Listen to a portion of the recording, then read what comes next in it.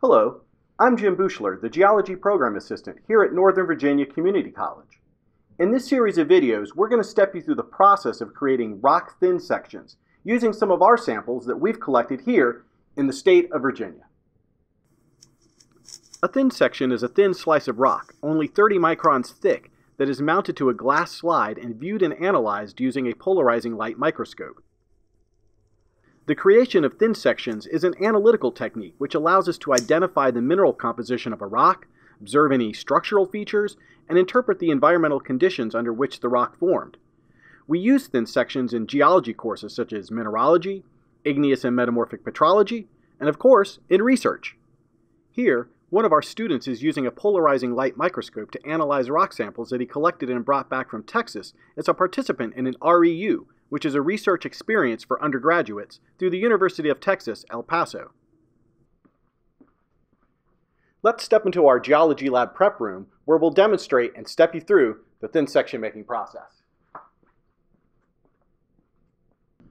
Welcome to the Geology Lab prep room here at Northern Virginia Community College. As geologists, we often return from the field with rock samples that we want to examine and study more closely than we can when we're out in the field. One of the common methods that geologists use when they come back to the lab is to prepare a rock thin section from their rock samples.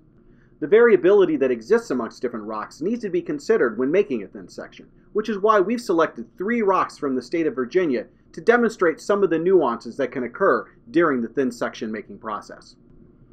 These rocks include an aplite, which is a fine-grained igneous rock of felsic composition.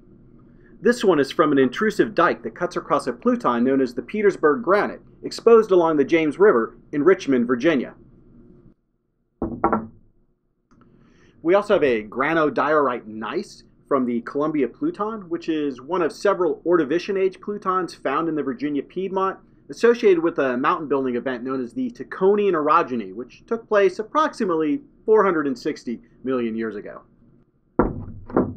And finally, the Catoctin Greenstone, a metamorphosed flood basalt found throughout the Blue Ridge associated with the breakup of the supercontinent that preceded Pangaea, known as Rodinia, somewhere around 550 to 570 million years ago. So, a good thin section can provide a lot of important information about your rock sample, such as its mineral composition or even the conditions under which it formed. Unfortunately, Getting from your rock sample down to your finished thin section is a multitask process that takes some time and a fair amount of patience. However, with some instruction and some practice, you too will be on your way to making your own quality thin sections. Here in our lab, there is a variety of equipment that we use to make thin sections. Although the equipment that you will be using may be different, the processes and basic procedures will remain the same. It is important that you familiarize yourself with your equipment, how it operates, and how to work with it safely before you begin doing any actual thin section work. So, let's get started by introducing you to the equipment we have and how it works.